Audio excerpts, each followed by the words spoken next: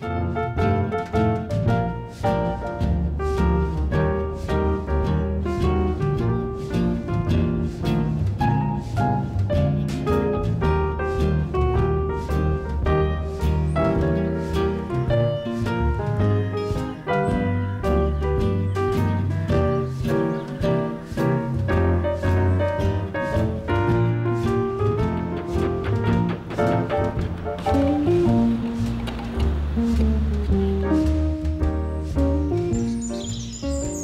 Middle Ages, the majority of houses were covered with some form of thatch. Reed and straw were the best materials, although the humbler dwellings of the peasant classes were more likely to be covered with flax, heather, or turf.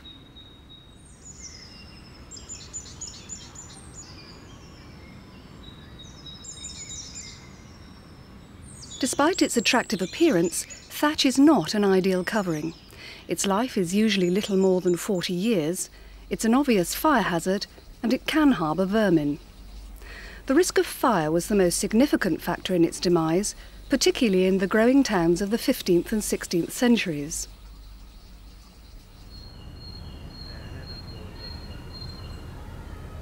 Until the Industrial Revolution, the use of slate was confined to those areas where it naturally occurred Wales, Cornwall, the Lake District, and Scotland. However, in the early 19th century, with improvements in transport, it became a very popular roof covering. It's virtually impermeable and highly resistant to chemical attack. In traditional construction, the slates were often laid in diminishing courses, with large slates at the eaves and progressively smaller slates towards the ridge. This, together with the use of random slate widths, gave the roofs an unmistakable character, which is rarely matched in modern slating.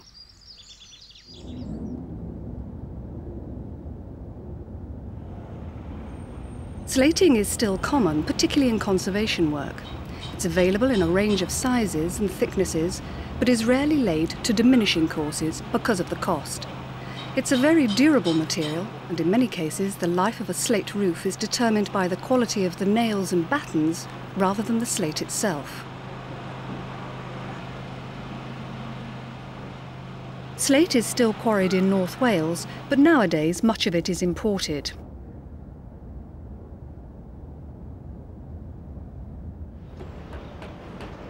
In the early part of the 20th century, synthetic slates were introduced to Britain. They were made from a mixture of asbestos and cement, although in recent years the asbestos has been replaced by synthetic fibres.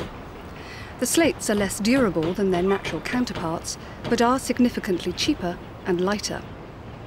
Because of their reduced weight, the tail or bottom of the slate is secured by small copper disc rivets to prevent lifting in high winds.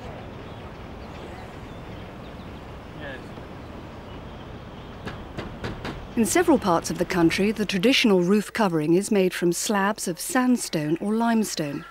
These are often referred to as stone slates. Like natural slate, they were traditionally laid to diminishing courses. These Cotswold slates, quarried from a local limestone, are almost 150 years old.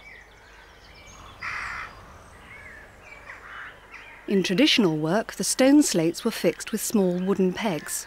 These are still found today, although the slates are more likely to be fixed with copper nails or brass screws.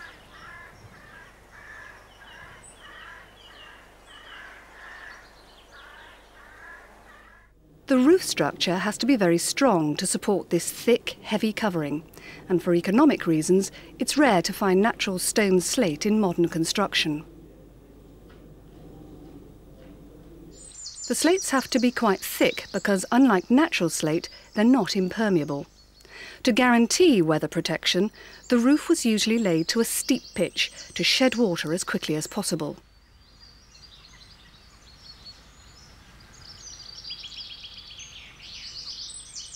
Plain clay tiles have been used in Britain since the Middle Ages, but their use declined when slating became cheaper in the 1800s. It was not until the end of the century that new industrial techniques produced cost-effective machine-made tiles.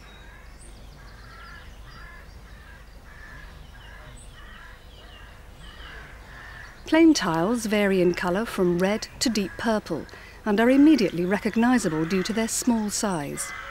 The size has in fact remained fairly constant for centuries.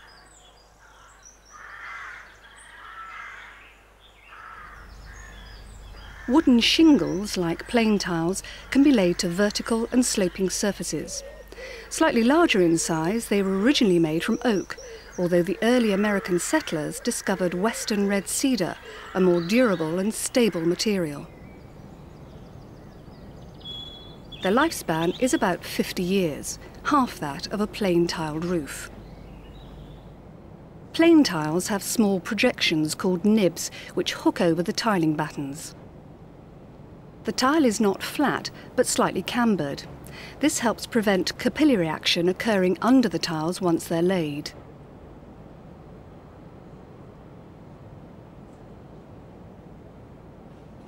Plain tiles and slates need to be laid in a special way if they're to provide an effective roof covering. The method shown here may seem correct, but it's wrong.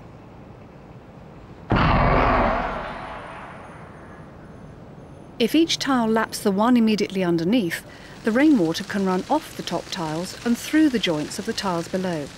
Laid like this, the tiling is useless.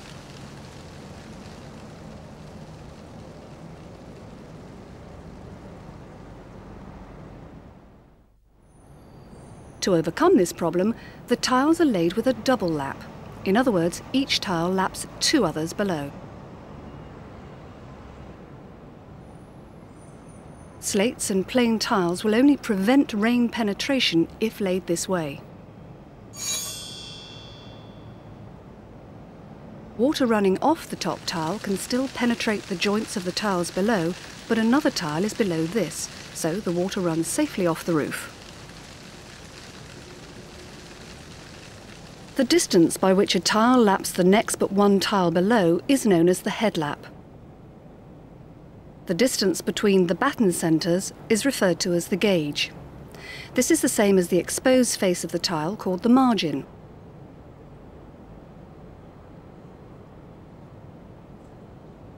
On plain tile roofs, the headlap should be at least 65 millimetres. In areas with high winds and heavy rainfall, protection can be improved by either increasing the headlap or raising the pitch.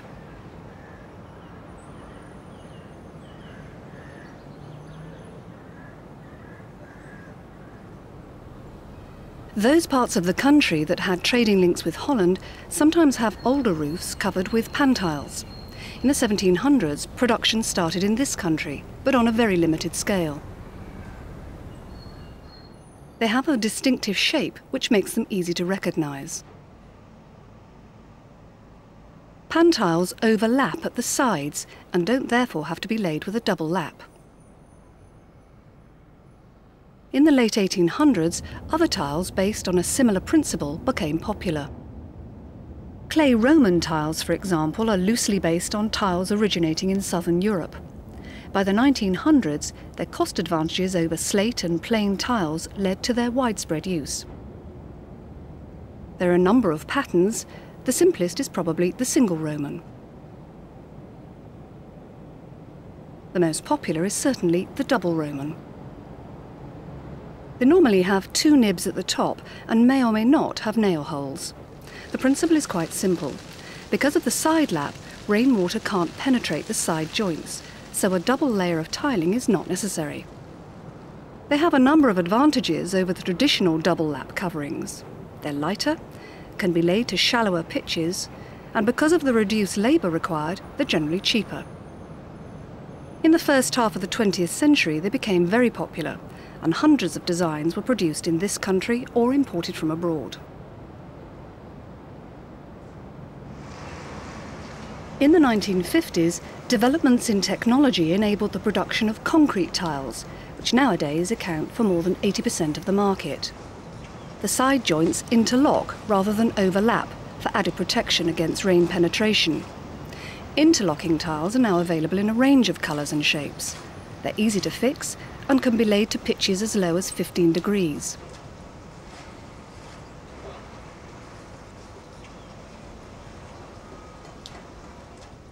Before examining a roof in detail, it's helpful to know the terminology. Where a roof overhangs a gable end, a verge is formed. The guttering runs along the eaves. The top of the roof is known as the ridge. There are many other specialist terms to learn.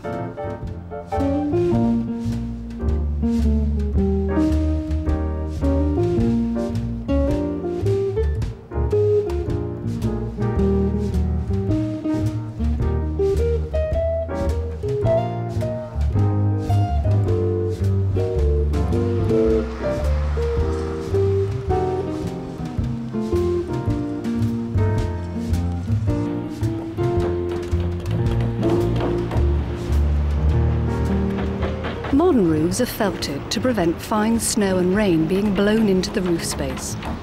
Before the 1930s, felting was rare, and roofs were often given additional protection by torching. This was a mixture of mortar and hair trowelled into the gaps between the tiles from inside the roof.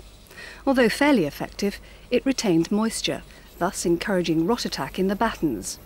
It was also easily dislodged by movement of the roof timbers. On this roof, the slaters are using a reinforced bitumen felt underlay, comprising a fibre layer embedded in bitumen. Battens are usually treated against rot and insect attack. They're fixed with galvanised nails with end joints meeting over rafters. Their spacing and size depend on the nature of the covering. Some underlay materials are vapour permeable. They prevent water penetration but allow vapour to escape, thus reducing the risk of condensation in the roof space. The underlay should sag slightly between the rafters so that any water can drain down the felt to the gutter. At the eaves, it's common practice to run the underlay into the gutter. But some underlays are not designed to be exposed to the elements and can be damaged by ultraviolet light or birds. It's better practice to use a strip of polythene DPC or a purpose-made filler at the eaves.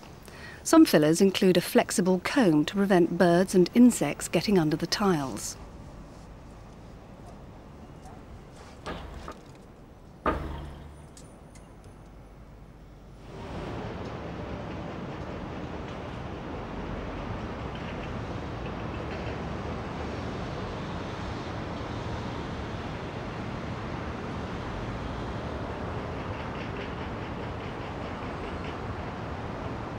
This roof is about to be covered with concrete single lap interlocking tiles, hence the wide gauge of the battens.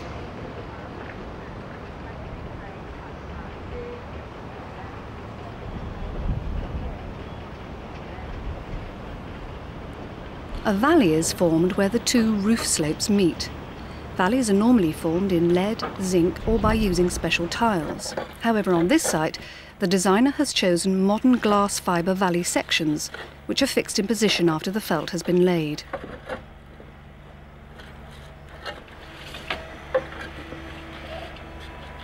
This is probably the cheapest and easiest method of forming a valley, but its life and maintenance costs are unknown.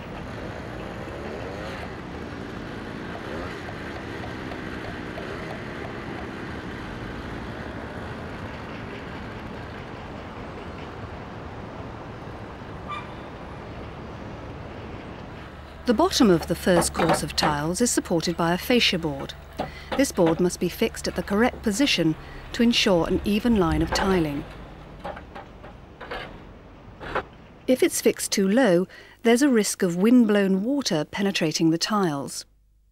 Raising the fascia board provides an even line of tiling, but creates other problems. Ponding can occur if any rainwater finds its way through the tiles. As water runs down the felt, it collects behind the fascia board. This can be prevented by a strip of timber known as a tilting fillet. It lifts the felt and helps water drain into the gutter. It's normal practice to fix all the perimeter tiles with non-ferrous nails or clips. The rest of the tiles aren't fixed in position and stay in place because of their weight and their interlock. However, in exposed situations or on very steep roofs, it may be necessary to nail or clip every single tile. The lap will depend on the specific characteristics of the tile and its pitch, but in general, modern tiles will have a lap of about 75 millimetres. In exposed areas, this may need increasing.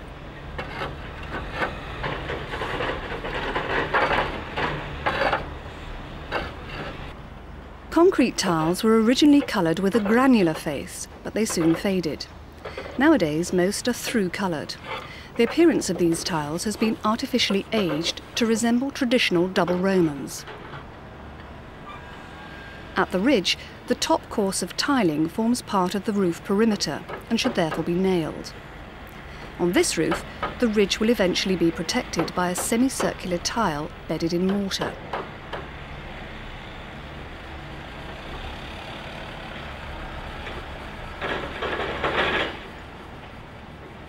The annex roof on the right is much steeper than the main roof and all the tiles need nailing to ensure they stay in position. When both slopes are complete, the tiles either side of the valley can be cut. The ends of the tiles are filled with mortar to provide a weatherproof finish.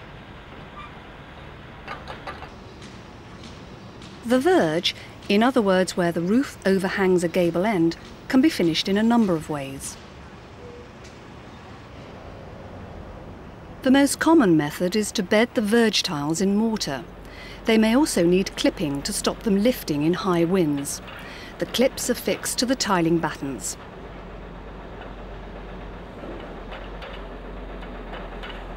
On this roof, there's a timber barge board attached to the roof structure. The barge board supports the undercloak. The undercloak, which is about 150 millimetres wide, is usually made from asbestos-free composition board. It projects about 50 millimetres from the wall. Tile manufacturers recommend various mixes for bedding mortars. A typical mix is three parts sand to one of cement. Additives can be provided to colour the mortar. Bedding rather than pointing provides the most durable finish.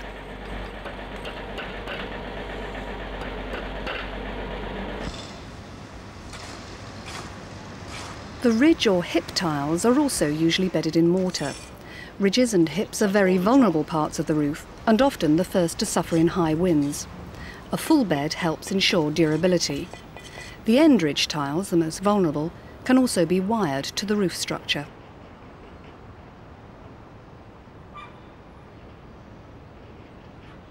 Special ridge tiles are sometimes used to terminate gas flues, soil vent pipes and extractor fans. Where the tiles have a fairly pronounced or bold roll, the mortar bedding for the ridge tiles will need to be quite thick. On these modern pan tiles, for example, there's a risk of the mortar sagging in the troughs of the tiles. This can be prevented by bedding small slips of tile, known as dentils, under the ridge. Although ridges and verges are usually bedded in mortar, there are modern alternatives. These special verge tiles avoid the need for bedding or pointing and don't require an undercloak. On this site, the verges are plastic. The individual units are nailed to the tiling battens. The appearance is similar to that of a traditionally bedded verge.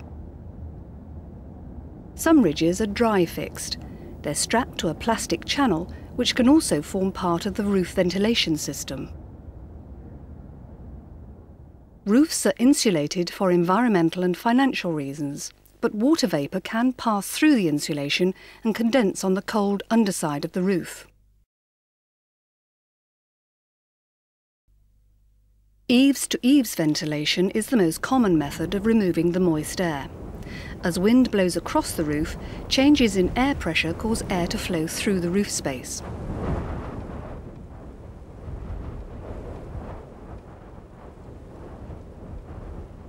Eaves to ridge ventilation is more effective.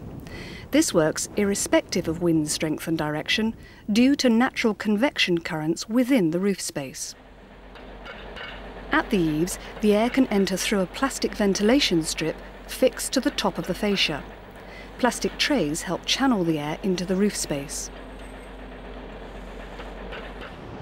Ventilation strips can also form part of the soffit.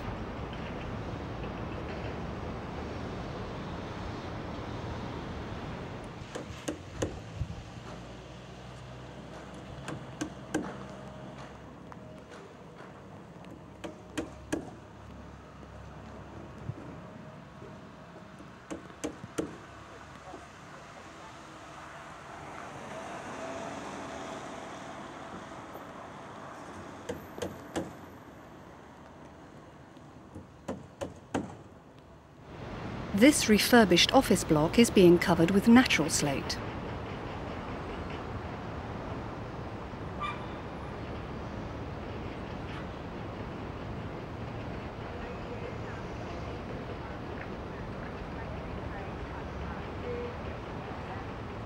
Large blocks of slate are quarried by machine and then split by hand to form individual slates of the correct thickness. They're available in a range of sizes and the edges are normally chamfered for reasons of appearance. The size of the slating battens depends on the spacing of the rafters. If battens are not wide enough, they're likely to split when the slates are fixed. If they're not thick enough, they're likely to spring as the slates are nailed in position. This prevents the nails being driven home properly. Like plain tiles, slates are laid with a double lap. However, because slates don't have nibs, every slate has to be secured. One approach is to head nail them. Head nailed slates may be susceptible to wind damage and they can lift, especially if laid to a shallow pitch. Centre nailing avoids this problem. It's always used for artificial fibre cement slates, which are lighter and weaker than their natural counterparts.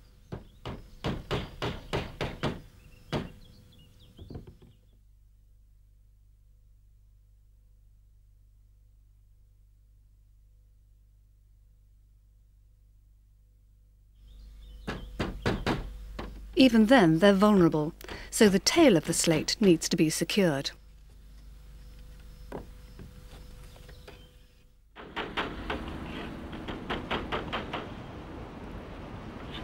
Natural slates can be pre-holed at the quarry, but the traditional method is to hold them on site using a special hammer called a zax. Slate should be holed from the underside. The resultant spalling forms a countersink for the nail head. Aluminium, copper or silicon bronze nails should be used.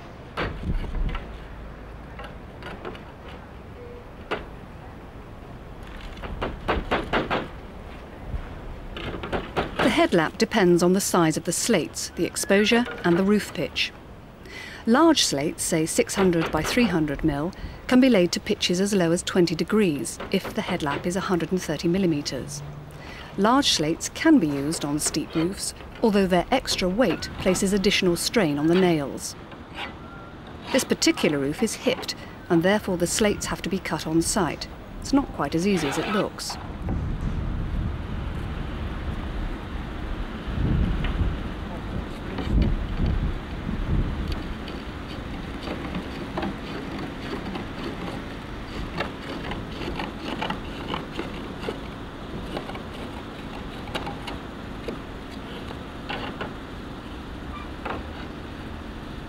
The hip will eventually be protected with special hip tiles bedded in cement mortar.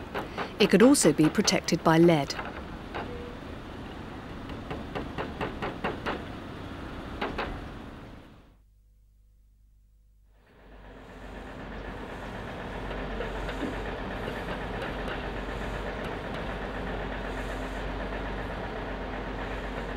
This old school is being recovered with plain tiles. Like slate, they're double lap, but because of their nibs, it's not necessary to nail every single tile. It's usually sufficient to nail every fifth course and the perimeter. On steep roofs, say over 60 degrees, the tiles are more vulnerable to wind damage and it's normal practice to nail every course. The battens need to be close together due to the double lap and the size of the tiles. This is one reason why plain tile roofs are so expensive. They're also quite heavy, about 40% heavier than interlocking concrete tiles. At the verge, plain tiles form an undercloak and lift the batten slightly to prevent water draining over the edge of the roof. Slate verges can be formed in a similar way.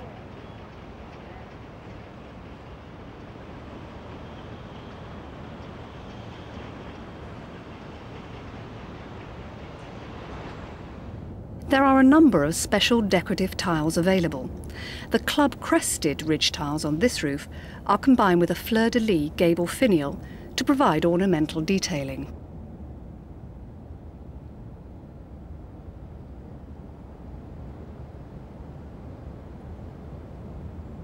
Other decorative features include three courses of club tiles and bonnet tiles on the hips.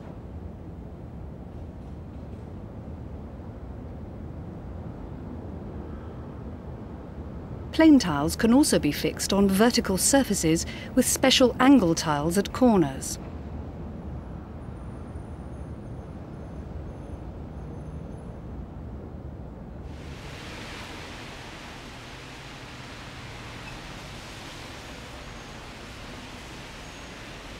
The junction between a wall and a roof must be sealed to prevent water penetration. Metal flashings, usually formed from lead, are the most common method. It's relatively cheap, easy to cut and dress, and very durable. Mortar flashings are sometimes found, but differential movement or settlement of the roof structure can cause cracking and damp penetration. On this roof, the joint between the wall and tiles is protected by bitumen roofing felt. This cannot be regarded as a long-term solution.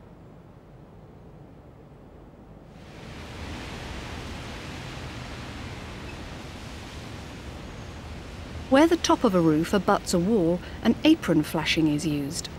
The flashing is dressed over the tiles, runs up the wall, and is turned into a bed joint.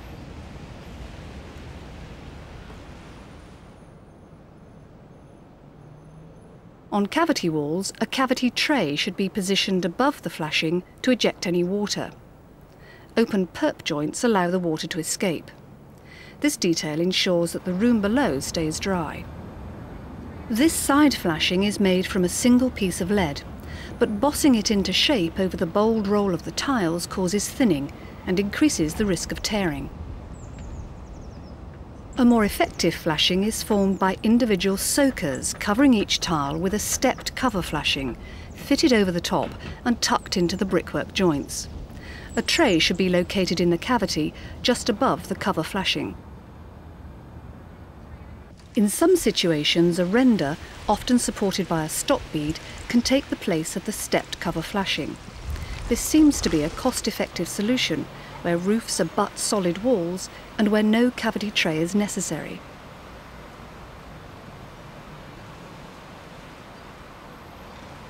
Soakers also offer the best protection for plain tile and slate roofs.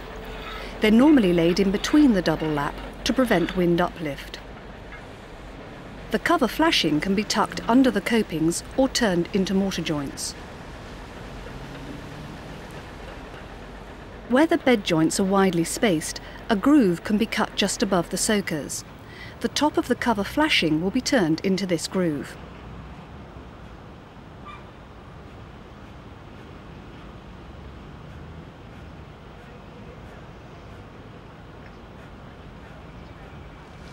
On this roof, Lead has also been used for the gutters behind the parapets. This is quite complex work, but done well, should easily last a hundred years.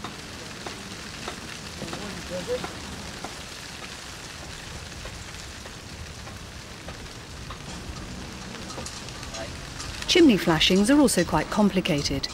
The flashing normally comprises a back gutter, a side flashing and a lower apron flashing. Some chimneys also include DPCs.